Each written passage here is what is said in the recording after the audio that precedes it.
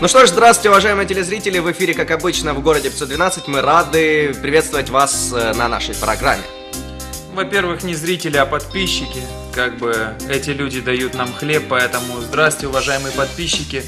Ставьте лайк, подписывайтесь на наш канал. Привет, друзья! Очень рада вас видеть сегодня, как обычно, по субботам в городе 512. Да. Э, ну что, может, к новостям сразу? Ну да, бы? у нас же хорошая новость. Чего тянуть-то? Хорошая новость, во-первых, что мы собрались. У тебя новый сегодня. телефон, да? Как бы? Да, Ты как- поэтому взяла не новости, а телефон, собственно говоря. Да, не твой телефон, а свой телефон. Да. Итак, новость, чудесная новость. Украинского туриста в Египте задержали с полным чемоданом вещей из отеля. От лампочек до крана от биде. Вы можете себе это представить? Да. У меня, ты. у меня сейчас папа на границе. Э, на самом деле, мне кажется, что это все, скорее всего, украинского производства. Человек просто возвращал то, что, так сказать, монголо-татары в Турке вот у нас отобрали. Он поехал и вер- хотел вернуть это на родину. Мне кажется, это такой какой-то э, защитник. Единственное, что я могу Нет? сказать, это красава. То есть вот такая мы передать. Мы очень поощряем людей, которые воруют в турецких отелях. А что, вы ничего отелей. никогда не, ну, не воровали бы так, типа, ха-ха-ха на человека? нет. Абсолютно нет. Так ты, ты в Киеве жила, работала. Как ты там выживала, если ты не воровала? Ну, как бы, я была содержанкой. Содержанка. Содержанка. Мне, мне кажется, больше нечего добавить в эту новость. То есть слово содержанка, оно логически ставит точку. Подытожим Ну, новость. в принципе, Скажем, что Яна была содержанкой. Как ты. Еждивенцем, еждивенцем. Нет, нет. У нас есть еждивенец, есть содержанка, есть... э, Есть классные Вообще-то я себе могу заработать на полотенце вот легко. На одно за полгода, но можешь. А на туалетную бумагу? А, Пять лет. Нет, не могу. пять лет, хорошо. Есть у нас еще новости какие-то? о, у нас куча новостей. Давай. Смотрите, в сети появилась игра, на которой бойцы ОМОН катают Медведева на лыжах. Смотрите, как это выглядит на самом деле. Довольно мило. А вам мы не покажем. Вы, Покажем, вы покажем. сможете это увидеть на моем канале. А, вообще, в чем Телеканал Николаев это не твой канал. Здесь есть человек, он как бы главный. Вы просто еще не все Онлайн-игра знаете. называется «Утиные истории». Главным героем, который является Медведев. А, В игре Медведев катает на лыжах, в этом ему помогают бойцы ОМОН, которые несут. Мало на того. пути премьер-министра попадаются утки, и если он вовремя не сменил полосу движения, он падает на асфальт. Смотри, в чем там суть игры? На самом деле там 4 года ты играешь за Медведева, А потом, потом за Путина, потом опять за а там Медведева. обновление как-то Да. идет автоматически. Слушайте, Потом за Путина. И потом до конца жизни Вот за сейчас Путина. вот эту новость, потом Вот нарежут щас. и скажут за Медведева, за Путина. Да, за да, я- Медведева, я- за я Путина. всегда Тёма, переживаю, за- что можно За кого ты голосовал? За Медведева, тебе а потом за Путина. А, а, а, блин, еще что-то, короче, за Путина, за Путина, 30 раз. Я еще и даю материалы куча. Это вызов. А, и- Следующая и- новость. и. Австралиец из картофелины и консервной банки смастерил фотоаппарат. Так. Ну классно. Классно. Давай дальше идем. Он даже, он даже опубликовал в соцсети фотографии, которые он снял на этот фотоаппарат. Э, К этим материалам, кроме картошки и консервной банки, он добавил магнитки на пленку, клейкую ленту И цифровик Canon. Но есть еще новости, есть еще новости. Грузины запустили флешмоб по предоставлению безвиза Украине. Грузины снова поддержали украинцев, на этот раз флешмобом по безвизу. Э, Напомню, что 28 Очень аккуратно шутим, давайте, а то... э, Напомню, что 28 марта Грузия получила безвизовый режим с ЕС и как бы вот такой лаверды в Мгм. Украине они запустили флешмоб. Участники такого флешмоба публикуют свои э, фото с хэштегом Visa Free for Ukraine. В руках они держат надпись «Я не чувствую себя европейцем, достаточно, пока Украина не получит безвиз». Ну, Смотри. Нас поддерживают. Очень круто, что обычный э, среднестатистический грузин для того, чтобы Украина Что получила есть Украина. Нет, что д- он э, для того, чтобы Украина получила Евросоюз, сделал больше, чем наше правительство за, за, за полтора, два, три года. Представляете, Сколько? как грузины не хотят, чтобы мы ехали в Грузию? Едьте в Евросоюз. Там, да, да, пожалуйста. Мы вас ждем там. Под Николаевом на Ингуле утонул. Так, ну явно не человек, раз Нет, ты так не- говоришь.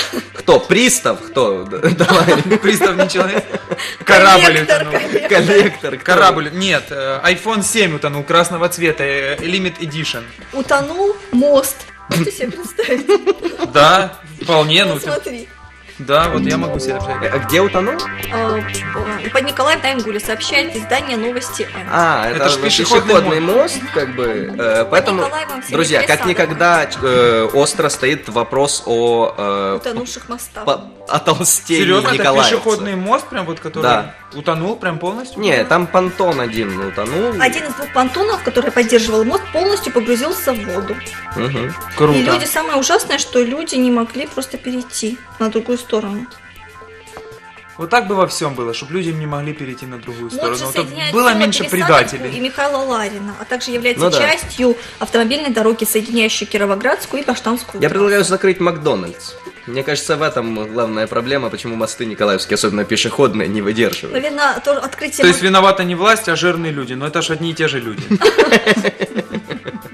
На самом деле, знаете, на самом деле, что, что самое смешное, мне кажется, что вот сейчас кто-то включил случайно телеканал Николаев и смотрит э, какие-то лица И людей, которые он когда-то видел, наверное, но они абсолютно не поним, ну не объяснили, что они делают, почему вдруг они обсуждают сколько новостей. Давайте, может, скажем, что мы как бы Говорить. а, друзья, а, мы э, вернулись.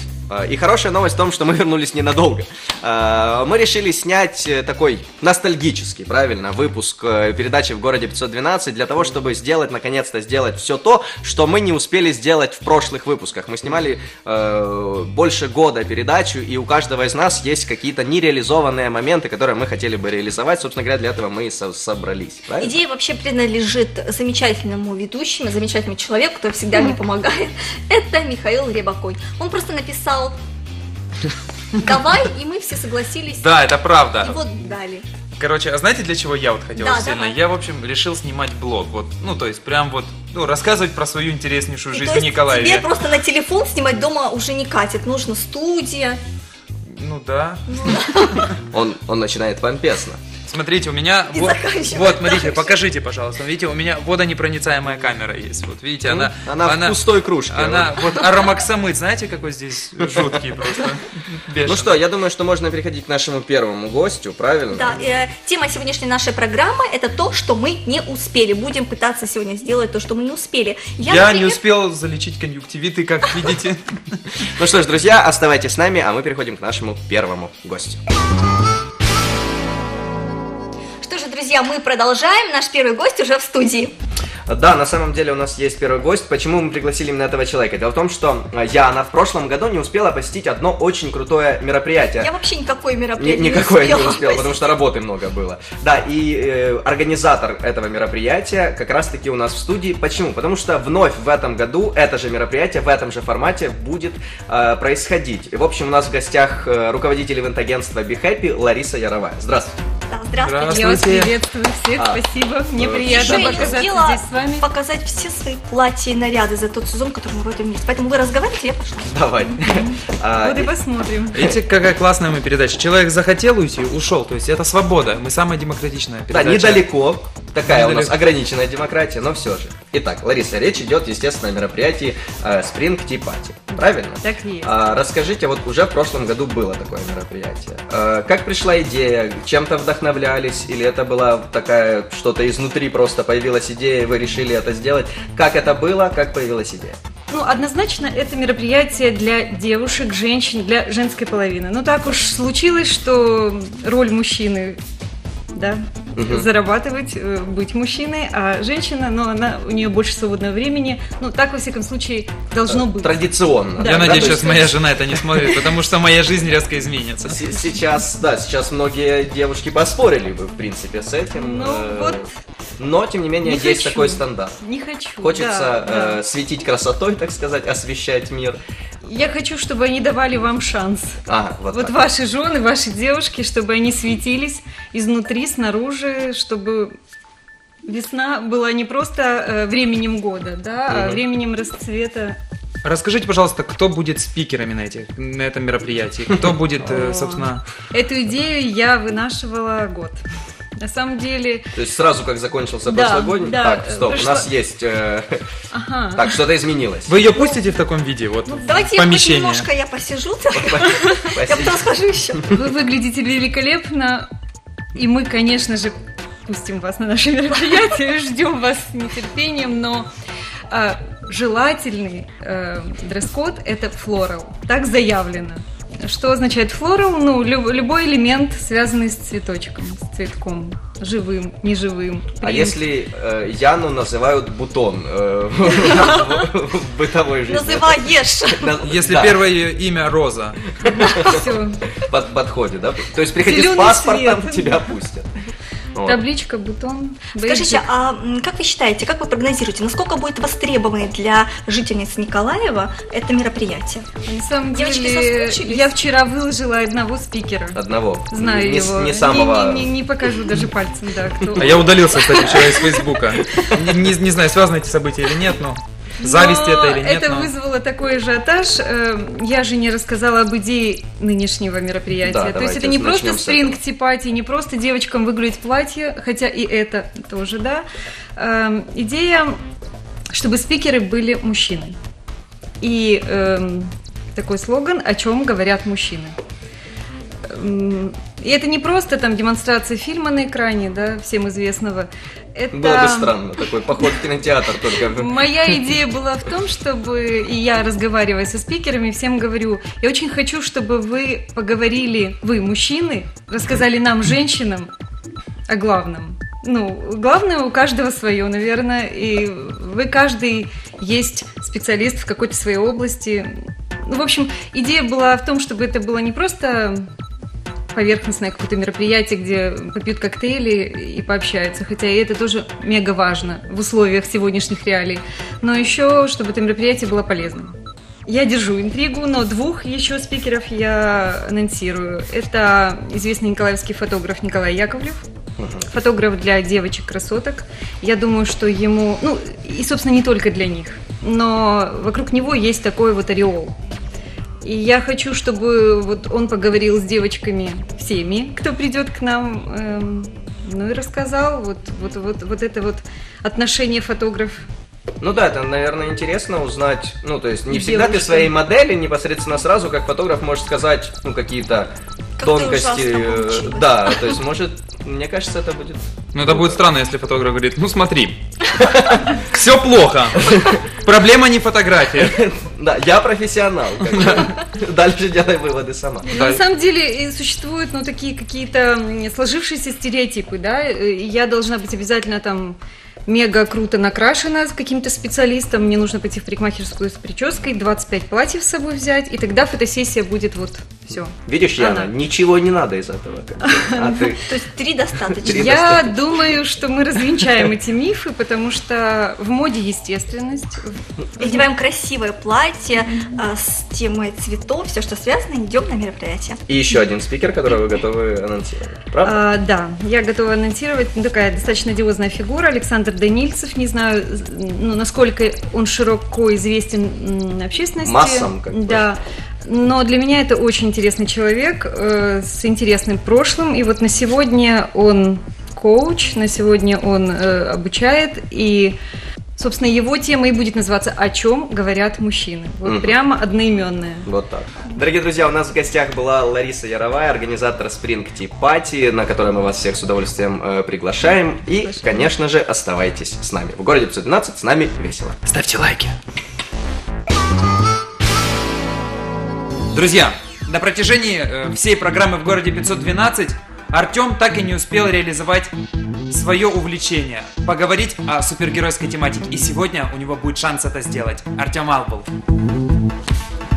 А, всем привет, меня действительно зовут Артем Албул, я безумно кайфую от супергеройской тематики. Но так получилось, что за все время, пока мы снимали в городе 512, я так и не поговорил об этом. Поэтому, э, вот, э, ну, мне очень нравится эта тема, но я считаю, что в рамках э, украинских реалий знаете ли, э, не всегда можно представить себе э, супергероев. Ну, например, Железный человек, да?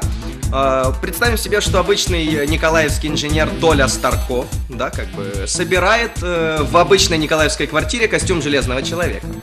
Потом ему в конце месяца приходит счет за электроэнергию. Он понимает, что ну никак не вывозит.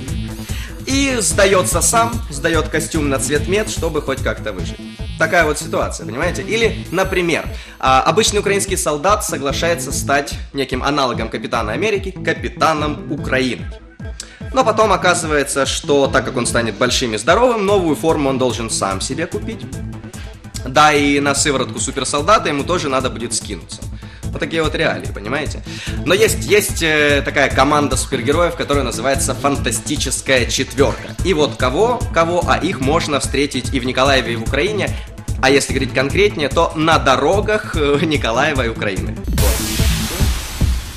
И, конечно же, самые-самые внимательные зрители э, скажут, вот, чего это он в костюме, ну, не прям в оригинальном костюме, но очень близко, э, самого известного персонажа комиксов DC, а рассказывает про марвеловских героев. Поэтому я и для вас приготовил. Итак, э, Бэтмен. Э, Бэтмен это, я напомню, человек-летучая мышь, э, за которым скрывается мультимиллиардер э, Брюс Уэйн. Итак, Николаевский мультимиллиардер что уже звучит смешно, а, решает бороться с преступностью по ночам. А, в чем парадокс, спросите вы? Просто преступность не может бороться с преступностью. Как бы вот как-то так. Э, друзья, я всегда хотел пошутить про супергероя в рамках передачи в городе 512. Мне предоставилась такая возможность, и, как говорится, я сделал. Спасибо. Друзья, следующий второй гость у нас уже в студии. Это замечательный человек, прекрасный юморист Виталий Пак. А, вообще-то тема сегодняшней нашей программы «То, чего мы еще не делали». Так вот, мы не делали. Э, мы же хотели э, в прошлый раз, э, вот когда мы снимали в городе 15, мы хотели 7 раз. 7 раз. Мы не делали этого 7 раз для людей Виталием Веры, Паком. Веры Да. Виталия. Мы 7 раз хотели видеть гостем своей передачи Виталия Пака, но так получилось, что всего лишь 6 раз мы тебя приглашали, поэтому наконец, наконец, нам писали письма. Э, от руки на печатной машинке, где, Супер. где Виталя. Э, Я хочу, знаете, что сказать? Классная футболка. Спасибо, спасибо, Михаил. Здравствуйте, ребята, здравствуйте всем. Ребята, безумно приятно, э, потому что в первую очередь в 7 раз меня никто, кроме вас, больше видеть не хочет, так много. А во-вторых, вот вы, мне очень приятно наблюдать за вашей передачей. Вы вот существовали целый год, Да. закрылись и снова вот, вот опять оно, вы как прожектор Пэрис Хилтон. Вот Только Мишка, круче. Мишка бородатый, как Ванька Цикало. Ургант. А, Нет, вот Ургант. Яна, Яна, Сашка Цикало. Да, да. Он, он тоже невысокого роста, и ты Я невысокого все роста. понимаю. То, Виталя, что вот он я хочу сказать, у него что куча денег мне вполне Он, устраивает. он такой милый молодой человек, ты тоже очень милая, молодая, тоже человек, Чел- видишь, да, тоже все. Это Что совпадение? Я хочу сказать, что Виталий, вот он мой друг, мой слуга, вообще очень близкий мне Кто ты, мальчик? я тоже сижу здесь. Х- Хочу Всё, тебе открыть всё. тайну. Вот, ну хочу. Ты перед нами, ну, был честен, когда сказал, что как бы мы тебе нравимся, все дела. И мы должны быть перед тобой. В общем, мы вместо тебя вначале хотели предла- ну, то есть пригласить Олега Деренюгу. У него не получилось прийти. Кому принадлежат Никвести? Мелькову. Итак, продолжаем. Э, Олег, у нас еще для тебя есть такой вопрос. А, подождите, тогда сейчас не так. Да, да, ребят. Смотри, так как у нас, э, так как у нас в гостях Олег Деренюга, главный редактор журнала То мы спросим о его мэр не справляется со мы своими обязанностями. Ребят, послушайте, я Деренюгу вижу так. Ребят, послушайте. Э, Смотри, может, он нам тоже попридумает заголовки, как мы хотели с Да, кстати, давайте. Смотри, ты же знаешь, что многие журналисты берут какой-то незначительный инфоповод и придумывают к этому громкий заголовок. Конечно. Смотри, мы сейчас тебе предлагаем абсолютно неважные, придуманные или более или менее выдуманные какие-то инфоповоды, а ты попробуешь придумать для них громкие, броские заголовки. Хорошо, хорошо. Смотри, А итак, в первое. подожди, эту программу будет смотреть Мериков, и может быть ты станешь главным редактором Никвести. Может быть, я окажусь под прицелом постоянного. Итак, э, первое, э, первый инфоповод. Э, В большой коренихе куры несут только коричневые яйца. Большие куры в большой коренихе несут большие яйца. Допустим. И э, заголовок очень маленьким шрифтом. Очень, очень маленьким. Маленьким. Малюсеньким. У нас же был свой вариант. Ну, то есть в большой коренихе куры несут только коричневые яйца. Мы предлагали назвать эту статью а, «Случайность или умышленный расизм». Куры несут только коричневые яйца. Тогда куры Вот. несут афроамериканские А, яйца. о, вот так, хорошо. А желтые Нет, тогда, яйца тогда бывают? если это броский должен быть заголовок, Давай. тогда куры несут нигерские яйца. Нигерские яйца. Ой. Окей. Э, Не видать Вот мы сейчас, да, все показали наш уровень культуры и образования, нигерские яйца, и, И все, все сразу смеялись. да. А, а наши уважаемые А смотри, ты нивелируешь типа расизм, понимаешь? Как Да. бы. Ты Я, даешь я- нам Миш, я, я тебе вообще скажу, что у меня в плане расизма карт-бланш. Я могу шутить на тему расизма. Я сам Расист. Смотри, еще Не есть... не люблю славян. Да. Артем, пересядь. А, Есть еще такой, например, инфоповод. А, Николаевские пенсионеры предпочитают троллейбусы. Вот, например, вот такой инфоповод. Какую статью? Э. Хорошо, э, зеленые николаевские пенсионеры захватили троллейбусы и не хотят... а, Не хотят... Прорастать. И сейчас, не хотят...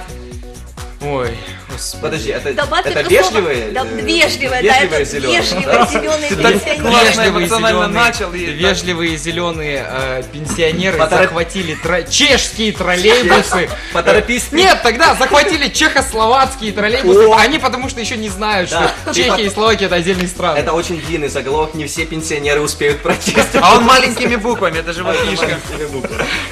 А, Не, у нас был вариант, э, да, как бы пенсионеры предпочитают троллейбусы. Мы хотели сделать статью, которая бы называлась «Николаевские, не, опытные николаевцы предпочитают электрокары». Есть мнение, которое проскочило в интервью э, одного человека о том, что в Николаеве юмор э, носит э, несколько низкий характер, что комики, которые есть в городе, предлагают э, юмор в большинстве своем ниже пояса. И людям это и людям нравится, это нравится. очень Вот нравится. как ты смотришь на эту проблему? Есть ли такая проблема с твоей внутренней точки зрения, как э, человека, который относится к юмору? Прокомментируй. Э, Безусловно, эм, низкий вот этот вот, э, не знаю, как это назвать, Ниже пояса. ку- культурно, какой-то Уровень, культурно... просто уровень. э, Ну, судя по твоему словарному запасу, проблемы есть. Э, Да, вот безусловно, низкий уровень культуры э, юмористического зрителя присутствует в Николаеве, это правда. Это, это проблема насущна не только в Николаеве, а в Украине в целом, потому что у нас на, на данный момент, к сожалению, в Украине нет ни одного вот сверхкачественного юмористического продукта. А нет его, потому что аудитория готова воспринимать то, что ей дают. То есть, э, какой смысл делать качество, если мы делаем некачество, его и так смотрят. Ну, что касается Николаева, со зрителем такая проблема есть, безусловно. Э, Эта проблема не может просто так не отразиться и на комиках. То есть, понятное дело, что эм, э, комик подсознательно, э, да, эм, чтобы обратную ре- реакцию от зрителя получить смех, он будет давать то, что зрителю близко. То есть, понятное дело, что... Согласись, получается замкнутый круг. Э, Зритель ждет, ко- комик думает, что зритель ждет э, похабного юмора, зритель думает, что комики Мне кажется, больше... комик думает, э, комик хочет быть успешным, он хочет услышать смех. Нет, Есть правда, ряд есть комиков, комиков которые, такое, это У них целью есть приучать зрителя. Приучать зрителя к чему-то более интересному, к чему-то менее заезженному, к чему-то более высококультурному, нежели вот тот вот пласт юмора, ко- который в массовой Высокопарному, есть. Да, но, высокомерному. но, но вот э, проблема в том, что вот даже если комик э, шутит на такие темы, то он не получает обратной реакции. И вот в этом, вот в этом э, вс- вся проблема. Ну, это, я думаю, что это процесс, который нельзя быстро решить. Где тебя можно в следующий раз будет увидеть, кроме нашей передачи и маршрутки? Э, Чкалова 99, я там выхожу с утра, иду, иду по делам своим, вот там. Возле мусорных баков. А вот если без шуток, вот где тебе можно на тебя прийти, посмотреть и посмеяться? Ой, на самом деле э, стендап грядет в Николаеве. Очень круто, что он про- продолжил э, развиваться этот тип юмора, данное направление 6 числа апреля. Апреля, 6 апреля будет стендап в Николаеве. Я надеюсь, что я успею все-таки написать чего-то новенького и выступить в роли комика. Да, шикарно. Мы будем рады тебя видеть, потому что мы с Мишкой тоже там, скорее всего, будем. У нас честная программа? Да, Виталий, Я вас не очень. Спасибо, Бруно, что пришел. Честно, я всегда рада, очень, когда ты приходишь. Все семь раз прям вот радовалась. Семь раз я Мы это радовалась. сделали. Обнимемся? Конечно. А обнимашки это так прекрасно, особенно весной. Особенно, Пацаны, когда давай. это от Виталия Пака. Ну что же, друзья, Виталий Пак. Спасибо всем весны, тепла. Уже она пришла, и тебе спасибо, что ты пришел. Э, До новых встреч, Виталия. Всех всяческих благ тебе и юмора того, который ты хотел бы Здоровья, держись делать. там. Спасибо Да. и вам, пацаны. Спасибо. Спасибо. Ну что ж, мы с огромным удовольствием вернулись в эфир ненадолго. э, Но вернулись. Но вернулись, Но это каким главное. триумфальным было это возвращение. Судить только вам, между прочим. Э, да, на самом деле, что, какие эмоции? Короче, если Ну, под этим видео будет миллион лайков, в городе 512 будет э, выходить регулярно, каждую Ну, субботу, миллион, вторник давай, и... Миша, смотри, давай неделю. реально. Ну, миллион это, ну, нереально. Ну, Так он и не сильно хочет, я так понял, выходить в эфир каждую неделю. Давайте сколько? Ну, Ну, давайте. давайте, Пять. Давайте пять ну, лайков. нет, нет, Давайте давайте 10 тысяч. Тысяча просмотров для начала, давайте. М? Тысяча просмотров. Тысяча просмотров. Ух, я А- загорелся. А вдруг? А вдруг? Ну, А, есть, действительно, а может быть... Тысяча просмотров, и мы идем прям со скриншотом Ютуба, идем куда-то э, со своим часть. мнением. Вот, и все возможно. Мы Они нас не любят, они Да. нас смотрят. Да, вот. Ну, в общем, да, решать только вам. Может и будет когда-то эта передача продолжаться, но Потому что мы такие замечательные. Особенно мои ведущие. Это Артем Албул и Михаил Рябаконь. Артем я Албул и Михаил Рябаконь. и Яна Май. Да. Дважды. И Яна Май. И Яна Май. Друзья, в городе 512 мы безумно рады были вновь видеть вас сквозь камеры. Это, это что-то вот здесь сидит, Ёкнуло, сидит, ёкнуло немножечко, да. Ну, вот у тебя, у меня, у Миши, как обычно. Короче, не слушайте. В общем, давайте. Все будет Э, хорошо, увидимся еще. Распространяйте наше видео и, может быть... Не надо распространять Не надо, наши нет. видео. Ну что ж, э, итак, Михаил Рябаконь, Яна Май, Артем Албул с любовью к своему зрителю. До новых встреч, возможно. Пока.